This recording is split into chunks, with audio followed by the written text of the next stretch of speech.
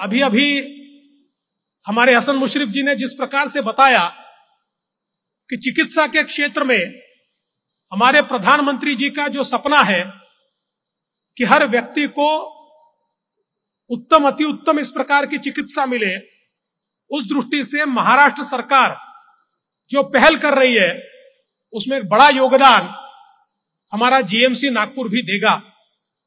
मुझे यहाँ पर यह भी मेंशन करना चाहिए कि हमारा जो आईजीएमसी है, नागपुर का, उसके लिए भी महाराष्ट्र सरकार ने 400 करोड़ रुपए दिए हैं ताकि उसको भी आधुनिक बनाया जाए और ये दोनों हमारे शासकीय वैद्यकीय महाविद्यालय अपनी आधुनिकता के साथ निश्चित रूप से सभी को सेवा और चिकित्सा देंगे। मैं इस मौके पर हमारे डीन डॉक्टर राज गजबीए और यहाँ की पूरी टीम को, हमारे सभी प्रोफेसर्स को, सभी हमारे नॉन टीचिंग स्टाफ को, और विशेष रूप से हमारे विद्यार्थियों को बधाई देता हूँ कि आप इस प्रकार से इस कॉलेज को चलाते हैं, जिससे